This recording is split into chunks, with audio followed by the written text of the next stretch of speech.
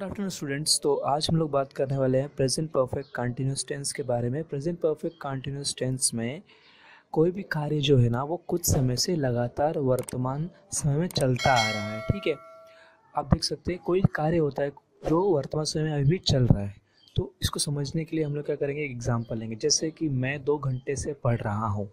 अंत हो रहा है रहा हूँ से, लेकिन यहाँ पर समय देखिए, आप दो घंटे है। तो यहाँ पर समय बहुत ही इंपॉर्टेंट होता है। अब इसका जो अंत है, वाक्य का अंत होगा किससे? ता है, ती है, ते रहे हैं। इन सबसे इस वाक्य का अंत हो रहा है, ठीक है? इसे हम क्या कहेंगे प्रेजेंट कंटिन्यूस टेंस अभी हम लोग इसका फॉर्मूला देख लेते हैं, जिससे आपको क्लियर हो जाएगा, ठीक है? तो प्रेजेंट परफेक्ट कंटिन्यूस टेंस का फॉर्मूला देखने से पहले हम लोग को पता है कि हम लोग को रहा है, रही है, वाक्य के अंत में आएगा, ठीक है? लेकिन यहाँ पे एक सबसे इंपॉर्टेंट चीज़ समय और समय को दर्शाने के लिए यहाँ पे सीन्स या फिर फॉर का उपयोग किया जाता है। उसका उपयोग कहाँ होगा हम लोग देखेंगे। अब देखते हैं अफर्मेटिव सेंटेंस अर्थात सकारात्मक वाक्य का फॉर्मूला शुरुआत कैसे होगी? सब्जेक्ट से होगी. इसमें आएगा हैज़ हैव ठीक है, इसका उपयोग हम देखेंगे कहाँ करना है और आएगा बीन ठीक है तो हैज़ हैव फिर बीन आएगा, उसके बाद आएगा वर्ब का फ़र्स्ट फॉर्म और बीन जो है ना, वो हर परफेक्ट कंटिन्यूस टेंस की पहचान है. ठीक है प्रेजेंट परफेक्ट या फिर पास्ट परफेक्ट कंटिन्यूस में भी बीन आएगा. उसके बाद आएगा वर्ब का फ़र्स्ट फॉर्म आई ऑब्जेक्ट फिर आएगा सीन्स या फिर फॉर कहाँ सीन्स यूज़ करना है, कहाँ फॉर यूज़ करना है, हम देखेंगे, उसके बाद आएगा टाइम ठीक है तो ये हो गया अफर्मेटिव सेंटेंस अगला सेंटेंस आया नेगेटिव सेंटेंस अर्थात क्या? अर्थात नकारात्मक वाक्य. वेरी गुड तो आप इसकी शुरुआत किससे होगी? हाँ सही बोले आप. सब्जेक्ट से होगी, फिर हैज़ हैव आएगा, फिर आएगा नॉट ध्यान रखना हेल्पिंग वर्ब के बाद नॉट आएगा और बीन के पहले आएगा बीन के पहले आएगा नॉट वेरी गुड अब आएगा वर्ब का फ़र्स्ट फॉर्म फिर क्या आएगा? वेरी गुड सही बोले आप. आई आएगा, फिर आएगा ऑब्जेक्ट फिर आएगा सीन्स या फिर फॉर्म में से एक. ठीक है, उसके बाद आएगा टाइम उसके बाद देखते हैं हम लोग इंट्रोगेटिव सेंटेंस का क्या फॉर्मूला बनता है? इंट्रोगेटिव सेंटेंस अर्थात क्या? प्रश्नार्थी वाक्य. वेरी गुड किसकी ज़रूरत होगी इससे?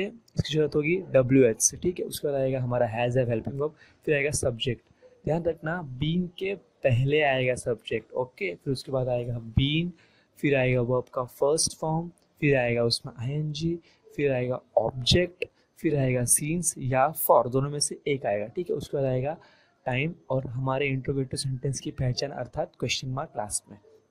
अब लास्ट सेंटेंस को होता है नेगेटिव इंट्रोगेटिव सेंटेंस अर्थात नकारात्मक प्रश्नार्थी वाक्य।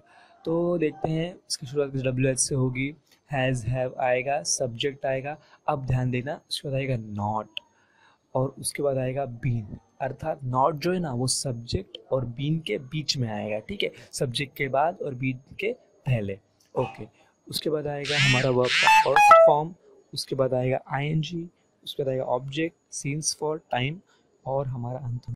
अब हम लोग देखते हैं कि हैज़ और हैव बिन का उपयोग कहाँ करता है। हमारा अगर हमारा सब्जेक्ट जो है वो आई यू वी दे या फिर कोई अनेक वचन है, एक से अधिक तो हम लोग इसका उपयोग करेंगे हैव बिन का और वर्ब में आईएनजी लगा देंगे। सिंपल अगर हमारा जो सब्जेक्ट है, वो क्या है?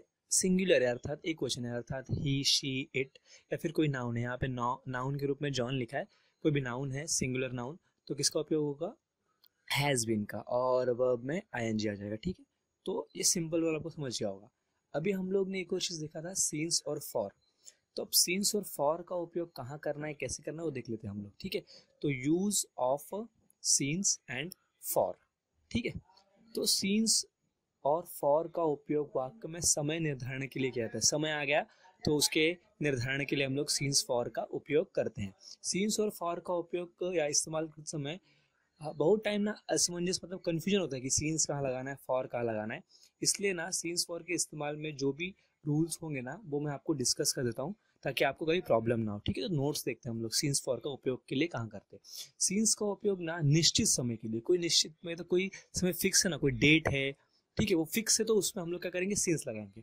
और फॉर का उपयोग कब करेंगे? कोई अनिश्चित मतलब आ, कोई टाइम ना फिक्स नहीं है ठीक है? समय की कुल अवधि मतलब जो टाइम है ना वो फिक्स नहीं है।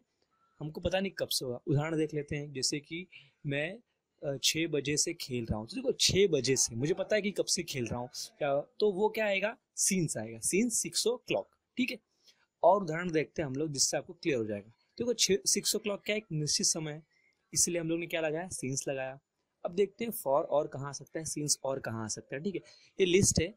आप इसमें देख लीजिए सीन्स और फॉर के प्रयोग जो है हमने यहाँ पे लिखे हैं। आपको समझ में आ जाएगा इससे, ठीक है? तो देखते हैं पहले सीन्स और फॉर के उपयोग में पहले सीन्स का उपयोग कहाँ कहाँ होता है, ठीक है?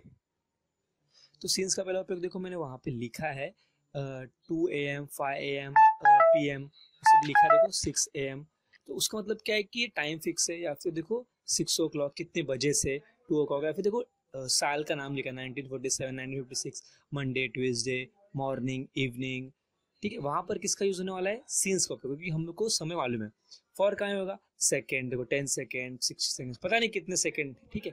या फिर टू मिनट्स मिनट्स आ गया तो ये आ जाएगा। या फिर घंटे आ गए, देखो, आवर्स लिखा है, two hours, five hours, ten hours, वहाँ पर भी क्या आएगा? फॉर आएगा। वीक्स आ गए, हफ़्ते, महीने, साल। देखो, कोई साल है 1947 कोई साल है तो क्या आएगा? सीन्स आएगा, लेकिन कितने साल? पाँच साल, दस साल, ऐसे आया तो फॉर आएगा, ठीक है? तो इससे में आएगा फॉर, उसमें आएगा सीन्स, ठीक है?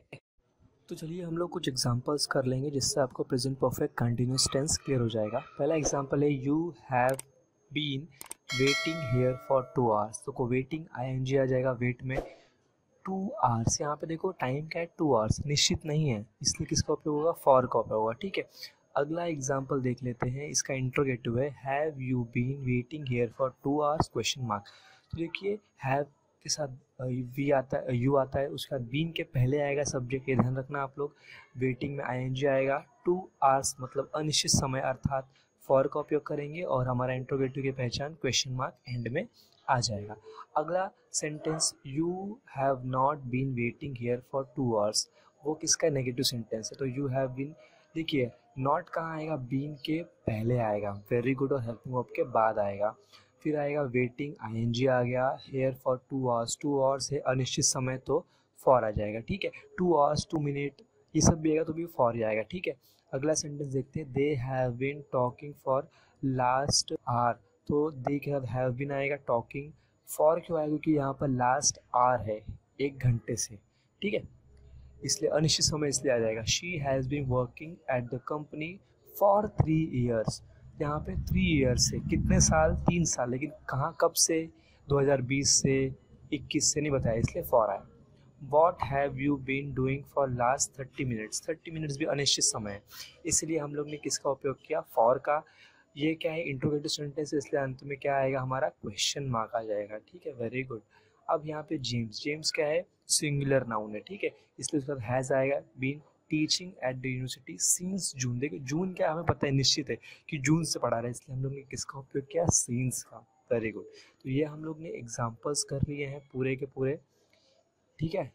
अब आपका होमवर्क मैं आपको बताता हूँ कि आपको होमवर्क क्या करना है, ठीक है? जिसे हम लोग हर टेंस में करते हैं। Complete the following sentence using verbs in present perfect continuous tense आपका होमवर्क है। जैसे आपको देखिए यहाँ पे वर्ब दिया गया है ब्रैकेट में पहला सेंटेंस देखते हैं I dash wait for his call since morning तो वेट का उपयोग करना है आपको, ठीक है? और फॉर्मूला लगाना है प्रेजेंट परफेक्ट कंटिन्यूस टेंस का। इसके अलावा आपका होमवर्क क्या है पता है? आप लोग को और भी पाँच वाक्य बनाने हैं अपने मन से, जिसमें सीन्स फॉर का उपयोग करना है प्रेजेंट परफेक्ट कंटिन्यूस टेंस के, और आपको पाँच वाक्य बनाने हैं और भेजने हैं, ठीक है? ये भी करना है और और भी एक्स्ट्रा पाँच वाक्य बनाने हैं ओके इस चैनल पे आपको मिलेंगी एट नाइन टेन से रिलेटेड वीडियोस तो चैनल को सब्सक्राइब करिए शेयर कीजिए अपने दोस्तों के साथ, और वीडियो देखने के लिए शुक्रिया।